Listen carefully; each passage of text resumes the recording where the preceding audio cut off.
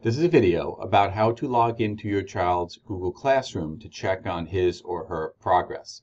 So you're going to go ahead and open your Chrome browser. Make sure it's Chrome, not Internet Explorer. And you're going to go to classroom.google.com. So let me go ahead and type that in here. Okay. And when you go to classroom.google.com, it's going to ask you to sign in with a Google account. Here, you're going to put your child's Google username. Typically, the child's Google username is the first name dot last name at northport.k12.ny.us. Once you have that in, you can hit next, and then you type in the child's Google password. Once you put in the password, you click next,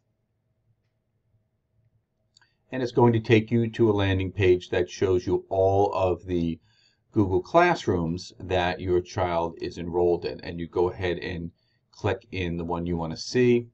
Let's go down here. And then once you're in there, you will see the various assignments. You will see grades if they're in there. And you can go ahead and go down the stream and look at the various uh, grades and assignments for your child. If you come back over here to the three lines, sometimes called the pancakes, and go back to classes, you'll come back to that landing screen that lists all of the different classes. You click on the class name and it takes you in there. So that is how you log into your child's Google Classroom so that you can check on his or her progress.